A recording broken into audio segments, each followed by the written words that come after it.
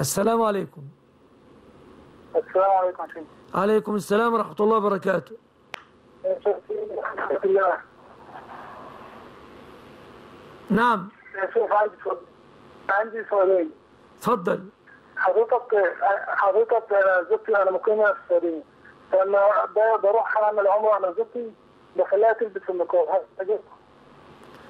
السؤال الثاني. يعني عفوا يعني عفوا. انتبه بس. يعني أنت الآن تسأل عن حكم النقاب للمحرمة. لا تنتقب المحرمة. لا تنتقب المحرمة نعم. لكن لا تنتقب المحرمة لكن يمكن أن تسدل إسدالا خفيفا طرحة خفيفة على الوجه. أما النقاب لا تنتقب المحرمة.